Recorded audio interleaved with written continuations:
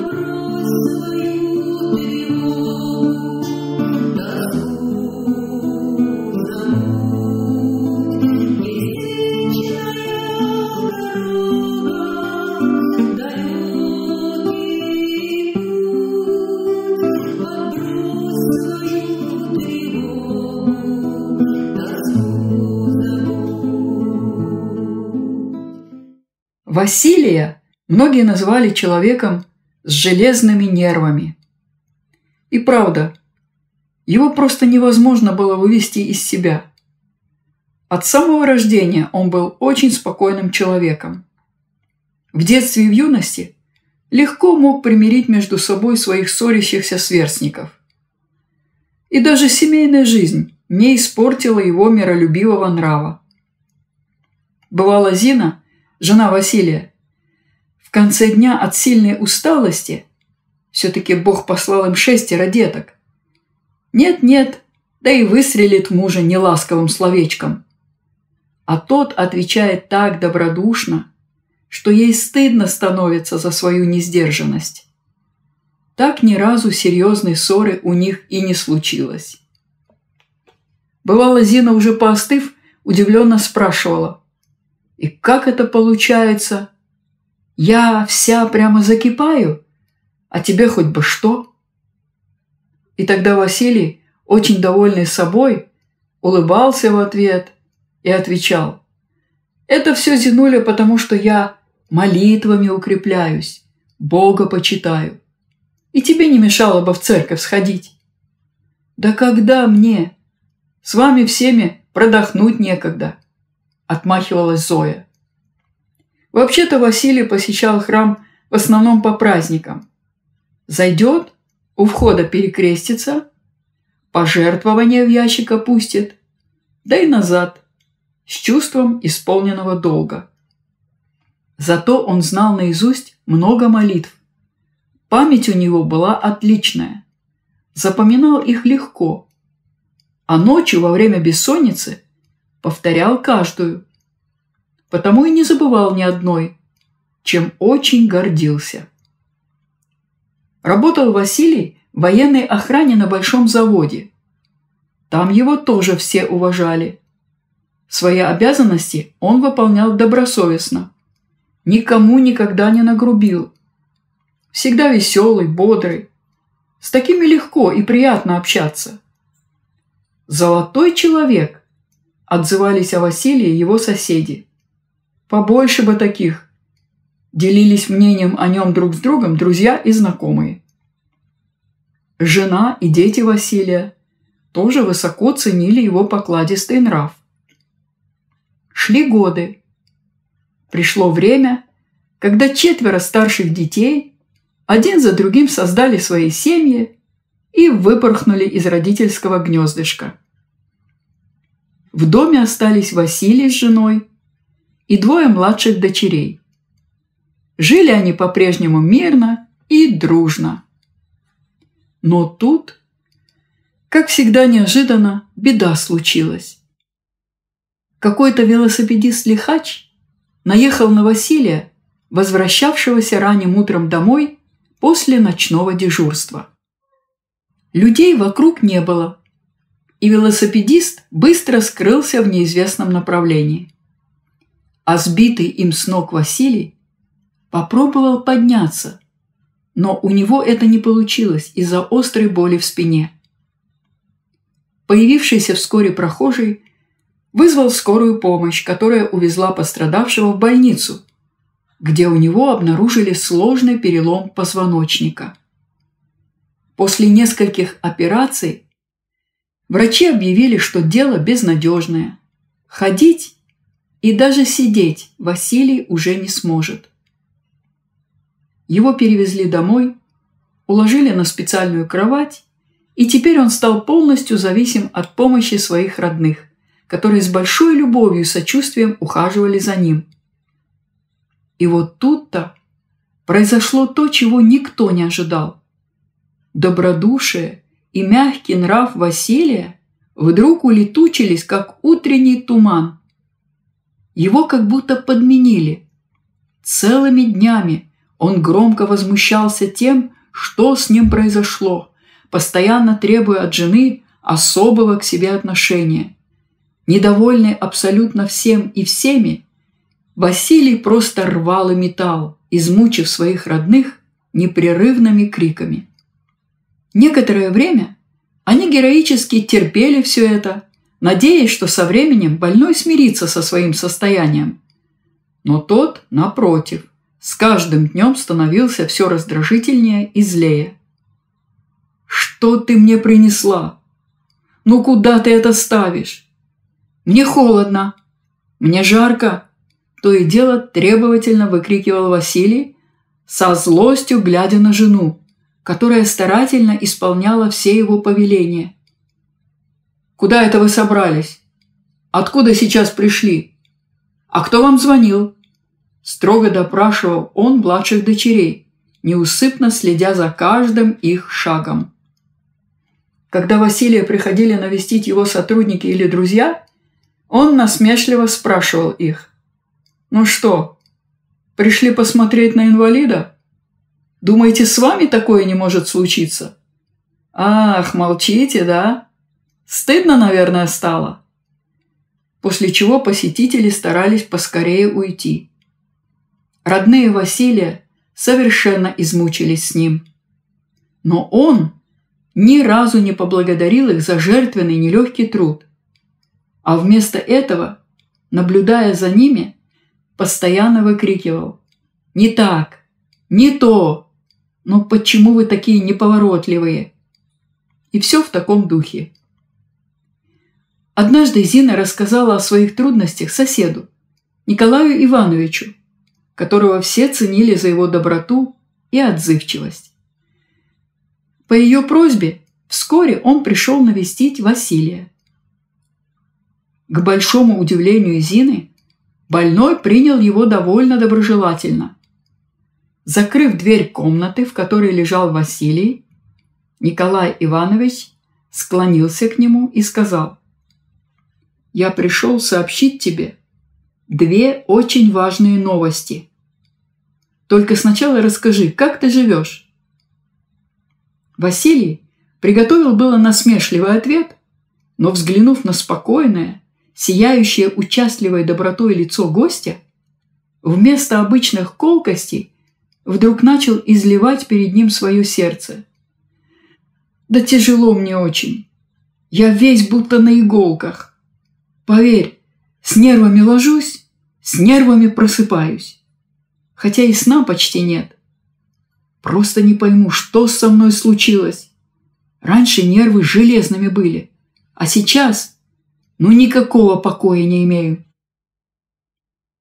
Сердечный покой Бог дает каждому, кто к нему обращается, сочувственно глядя на больного, сказал Николай Иванович. Иисус сказал, Придите ко мне, все труждающиеся и обремененные, и я успокою вас. Да ты чего? Забыл, что ли? Я ведь тоже верующий и в церковь всегда ходил, воскликнул Василий. Да, в церковь ты, может, и ходил, согласился Николай Иванович. Но вот только до Бога, видно, так и не дошел.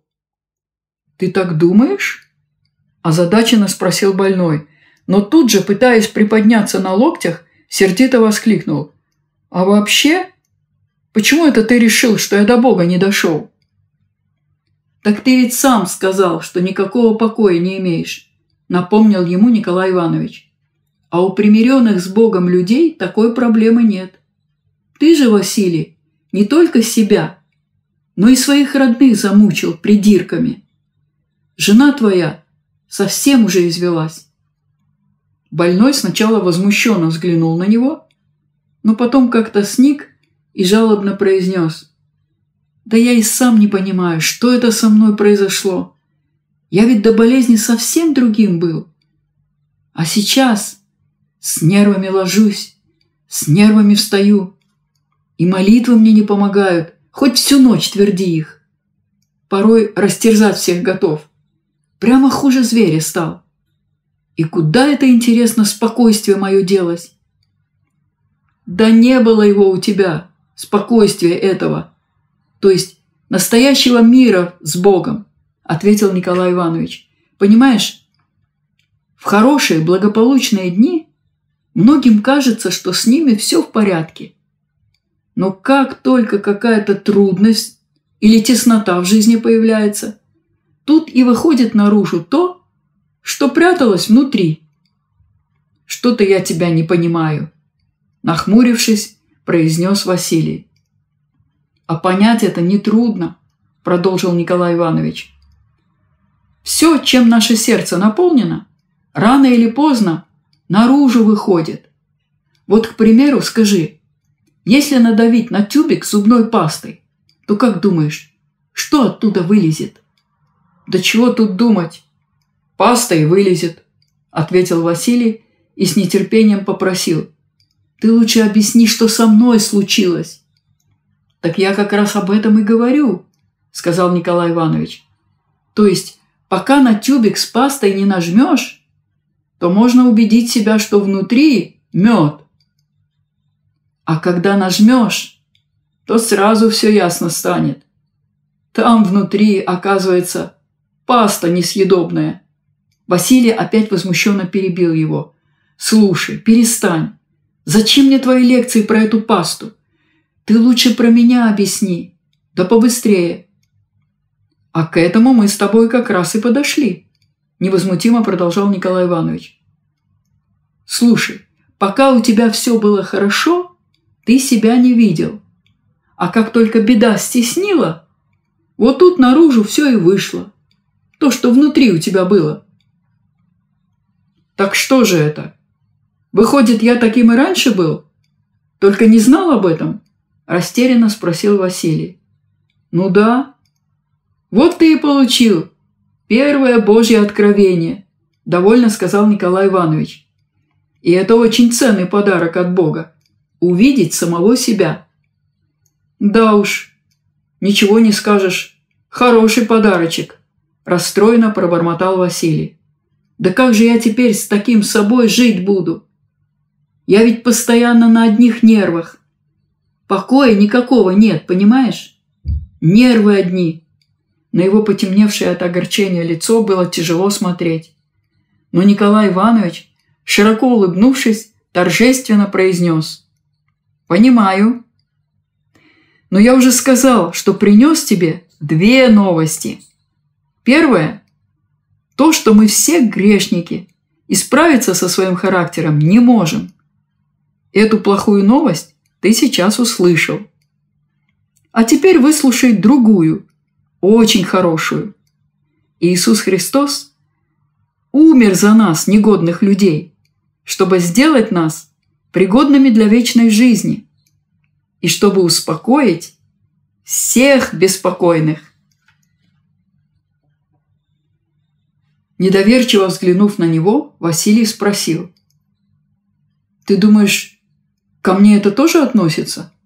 Николай Иванович ответил. «Ну да, и к тебе тоже.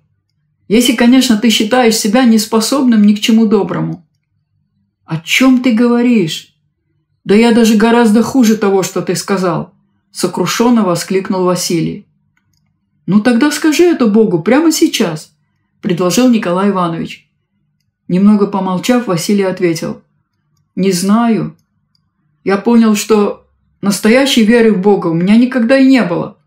Как же тогда мне говорить с ним? Без веры. А ты не жди, пока вера придет, сказал Николай Иванович. Просто скажи Богу все, что у тебя на сердце. И тогда увидишь, что будет дальше.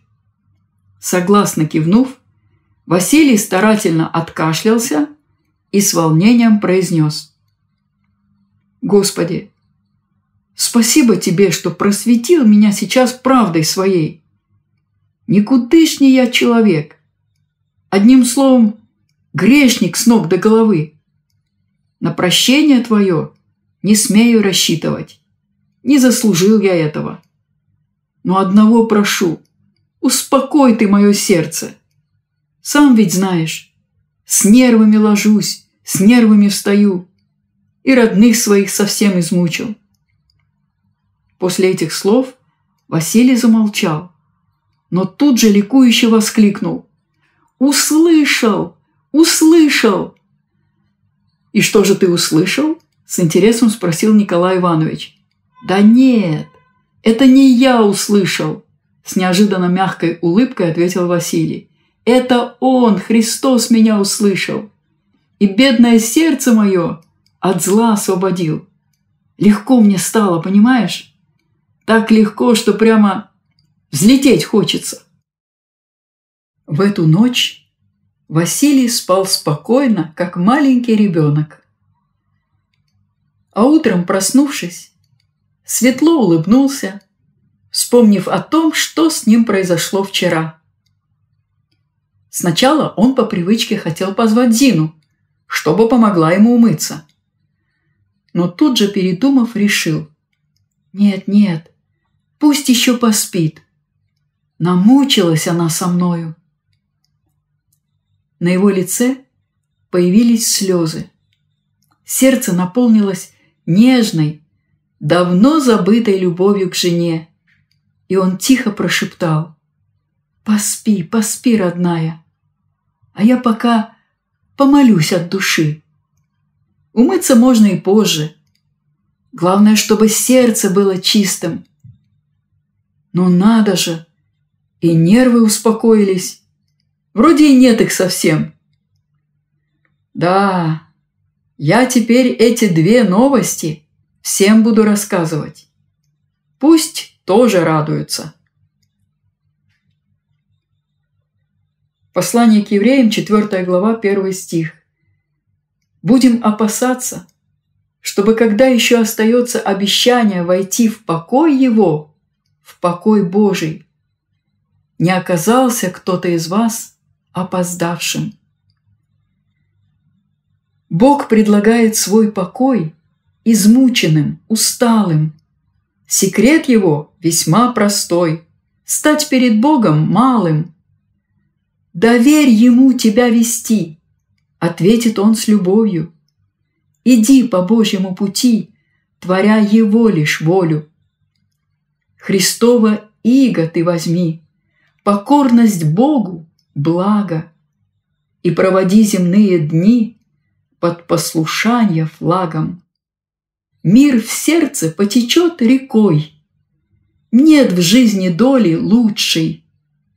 Бог предлагает свой покой всем беспокойным душам.